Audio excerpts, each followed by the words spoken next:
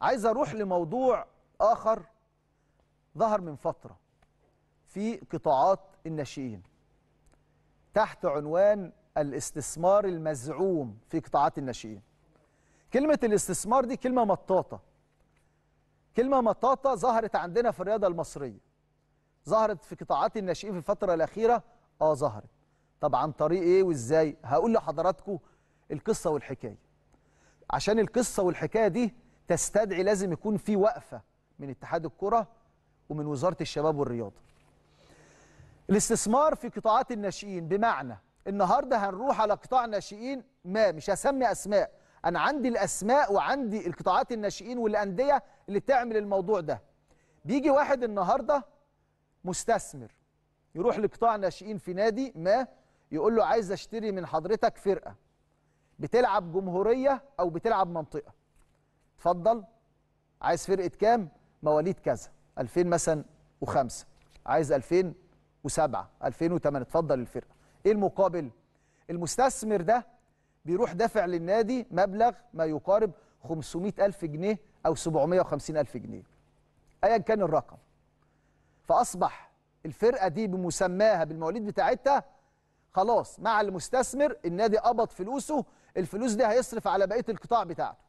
بتاعه واللعيبة بتاعته. الراجل اللي خد القطاع وخد الفرقة دي بيعمل إيه بقى؟ عشان يلم الفلوس بتاعته. 750 ألف جنيه. القيد 30 لاعب. فبيبدأ يعرض يقول يا جماعة اللي عايز يلعب في النادي الفلاني في بطولة الجمهورية يجي.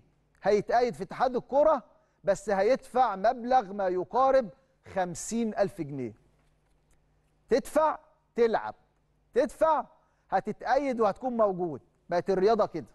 تاني هتدفع خمسين ألف جنيه هتتقيد في الفرقة. 30 لاعب في خمسين يعني بنتكلم في مليون ونص يعني المستثمر لم فلوسه وكسب. وفي داهية المواهب. في داهية المواهب اللي تظهر وتلعب وتاخد فرصها معنى معاك فلوس هتدفع وهتلعب. طيب مفيش مستثمر.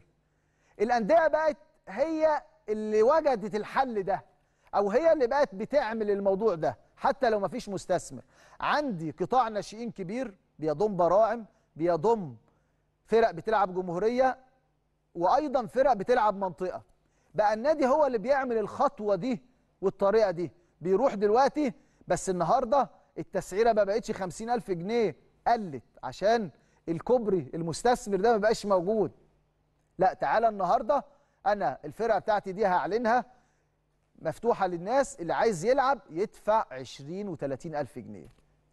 فالنهارده نفس الكلام 30 لاعب بيتأيد أو 40 لاعب في ال 20 30 ألف جنيه لميت لي مليون جنيه مليون ونص علشان أقدر أصرف على القطاع. هو بقى ده الفكر الموجود هل الفكر ده يصح؟ هل النهارده اللي معاه فلوس هو اللي هيلعب وهو اللي يكون موجود؟ طب اللي معهوش؟ خلاص اللي معهوش ما يلزموش. زي ما بيقولوا يعني وتقدر تقتل مواهب كتير موجودة. دي مشكلة كبيرة مشكلة كبيرة ظهرت. وبالمناسبة المشكلة دي مش موجودة اليومين دول بس في الرياضة أو في قطاعات الناشئين أو في مسابقات الناشئين. المشكلة دي موجودة بقالها فترة كبيرة بنتكلم في كذا سنة. علشان كده من هنا بناشد اتحاد الكرة المصري والقائمين فيه لجنة المسابقات والقائمين على تطوير الرياضة المصرية والدكتور أشرف صبحي وزير الشباب والرياضة. لازم نخلي بالنا من النقطة دي نقطة مهمة جدا علشان نقدر نحافظ على مواهبنا واللاعبين الموهوبين الموجودين الولد اللي عايز ياخد فرصة. النهارده ممكن ولد ما عندوش المقدرة إنه يدفع. خلاص ما يلعبش كرة.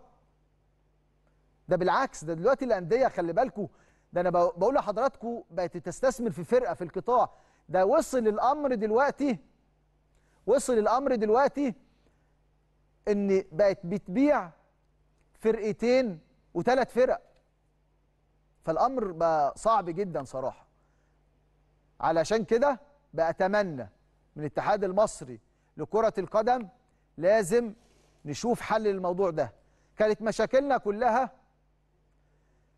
كان مشاكلنا كلها بنتكلم في التزوير والتسنين والملاعب والمسابقات إلى أن ظهرت المشكلة الكبيرة دي.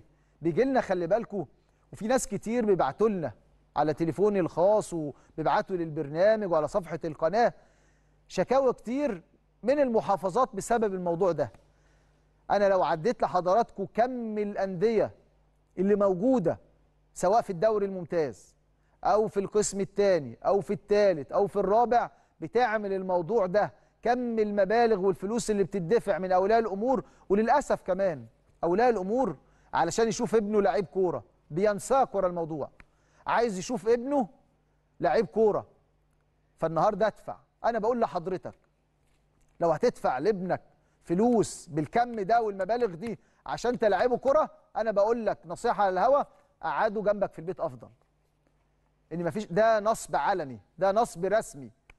إن ناس بتنصب على حضرتك علشان ابنك تلعب ويدفعك 50000 جنيه و30000 جنيه عشان يقول لك أطلع له كارنيه ويكون موجود في بطولة الجمهورية. بقت ظاهرة غريبة. علشان كده علشان كده بناشد الاتحاد المصري مرة تانية وتالتة ورابعة. هفضل ورا القضية دي. في أندية كانت بتعمل الموضوع ده. السنة دي لغت. في أندية كانت بتعمل الموضوع ده وبقولها. من ضمن الأندية نادي كبير نادي المقاولين العرب. كابتن يسري عبد الغني رئيس قطاع الناشئين في المقاولين العرب السنة دي جه أول ما لقى الظاهرة دي قال لهم لا ما ينفعش الكلام ده. أنا النهارده بعمل اختبارات وبنتقي علشان المواهب بس. علشان كده كابتن يسري عبد الغني ونادي المقاولين لو كان في سلبيات قبل كده النهارده نقدم لهم التحية إنك بترجع في قرارك علشان مصلحة الكرة المصرية. علشان كده أي نادي أي نادي أنت بتفكر دلوقتي في الاستثمار سنة وسنتين وثلاثه عشان تلم فلوس لكن الأسوأ هيبقى قادم. مش الأسوأ للنادي بس لا ده الأسوأ للمنتخبات في السن ده. تخيل النهارده وإحنا داخلين على منتخب مصر 2005 وهيبقى عندنا 2007 وعندنا 2009 ويبقى معظم الأندية بتتكلم في مسابقات فيها ناس بتدفع فلوس عشان تلعب. طب فين المواهب وفين المنافسة وفين ال... فين اللعيبة اللي هتظهر؟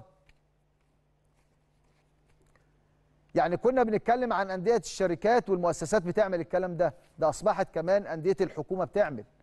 الموضوع كان زمان في في القسم الثاني وفي الثالث ده دلوقتي أصبح كمان انتشر في الدوري الممتاز. أنا فتحت القضية لكن إن شاء الله مستمرين فيها مستمرين فيها ونتكلم فيها. وممكن نتكلم عن أندية بتعمل الموضوع ده. لما نقضي عن الموضوع ده وهنشوف اتحاد الكورة ووزارة الشباب وكل المعنيين بالرياضه المصرية هيتكلموا إزاي؟ وهيكون الأمر إزاي مطروح بالنسبة لهم خلال الفترة اللي جاية.